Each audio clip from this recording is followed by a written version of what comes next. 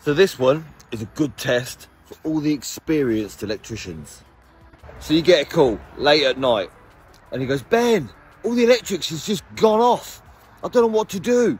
Now this is late at night and it's dark, so you don't really want to be going out.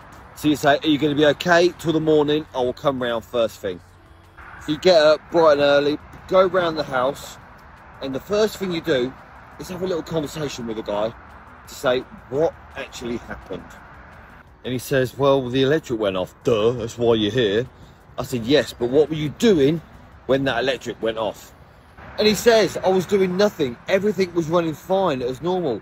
All I did is went out to the garage to get the beef out of the freezer to make lasagna tomorrow, and everything was off because no lights were on in the garden. So, what's the first thought that comes to your head? Yeah, okay, it might be hmm, lasagna, but as an electrician, what's the first thought that comes to